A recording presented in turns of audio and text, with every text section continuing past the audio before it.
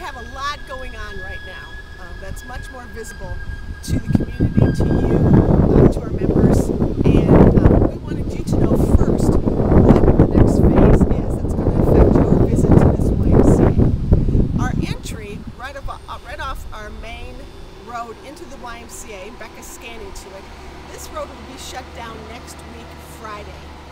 Uh, leading to the y or leading to the pool and right beyond uh, that pool to the soccer parking lot. There will be a walkway leading from the soccer parking lot to the YMCA, but no cars will be. Um, you're probably wondering about the handicap parking that is located right in front of the pool. We are going to be relocating about half those spots to three quarters of those spots right down here in the west side parking lot. There'll be some blue lines coming in indicating those spots. It'll be the front 12 spots for uh, that will be designated for handicap parking.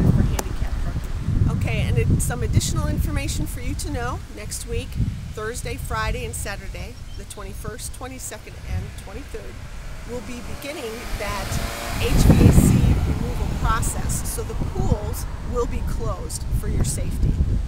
Uh, another piece of that is for us to move a gas line that's up on the roof. So on Thursday, the 21st, there will be no gas coming into the YMCA to heat our water.